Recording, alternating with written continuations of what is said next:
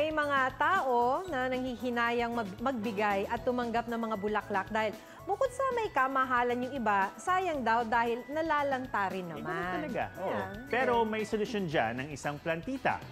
Yung kanyang mga bulaklak kaya raw umabot hanggang tatlong taon. Talaga? Kung paano nangyari yan, ikunento sa atin ni Katrina Son. Totoong bulaklak nga ba iyan o hindi? Hmm, mukhang totoo. Pero hindi naman na raw iyan mangunguluntoy. Ito na raw ang sagot sa panghihinayang kapag nabigyan ng fresh flowers na unti-unting nalalanta.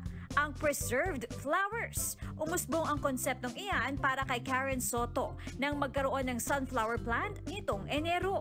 Ang taglay na ganda ng bulaklak natuyot na makalipas ang tatlong linggo. So sabi ko, uy, parang maganda tong gawing business. Kasi ano eh, ah, pwede ko rin kasing isa, ah, pagsamahin dito yung hilig ko sa arts and design, yung pagiging plantita ko at Magva-Valentine's Day raw noon kaya sakto ang negosyong gustong palaguin.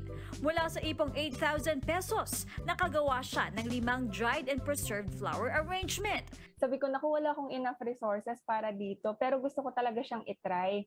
So ang ginawa ko, out of budget po na meron ako, yun lang po yung pinagkasya ko. Sino ba naman ang mag-aakala na ang mga rosas, lavender at globe amaranth na ito ay kayang magtagal ng hanggang tatlong taon. Nang makita ng kanyang mga kaibigan, nagsunod-sunod na raw ang mga natanggap na order ni Karen. Ang dried and preserved flowers, sulit naman daw dahil hindi lang maganda, pang matagalan pa. Fulfillment din po kasi sa akin yun as a designer din po na ma-appreciate po ng mga recipient and also yung mga um, customers. Therapeutic din po talaga siya sa akin. So, it gives me happiness din po while I am doing this. Kung ano po talaga yung passion nyo, kung saan po kayo mahilig, yun yung i-pursue natin na business. Katrina Son, GMA News. Huwag magpahuli sa mga balitang dapat niyong malaman.